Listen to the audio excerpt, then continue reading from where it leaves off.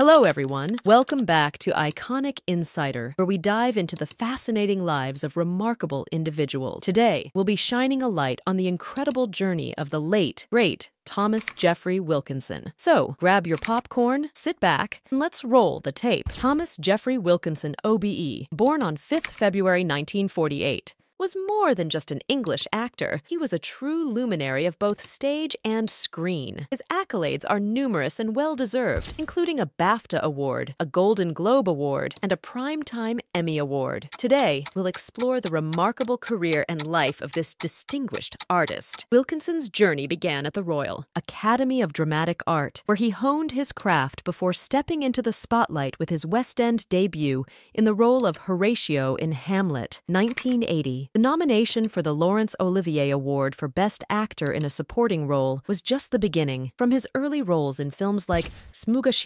1976, to his standout performances in Parker, 1984, and Sylvia, 1985, Wilkinson's star continued to rise. His TV portrayal of Raymond Gould in First Among Equals, 1986, showcased his versatility, earning him a well-deserved spot in the hearts of viewers. But it was in the late 90s that Wilkinson truly made his mark, earning the BAFTA Award for Best actor in a supporting role for The Full Monty, 1997, and delivering a powerful performance in Sense and Sensibility, 1995, alongside the talented cast. He knew Millennium brought even greater recognition, Academy Award nominations for In the Bedroom, 2001, and Michael Clayton, 2007. His portrayal of a grieving father in In the Bedroom earned him critical acclaim, with awards and nominations flowing in for his outstanding performances. In 2009, Wilkinson took on the iconic role of Benjamin Franklin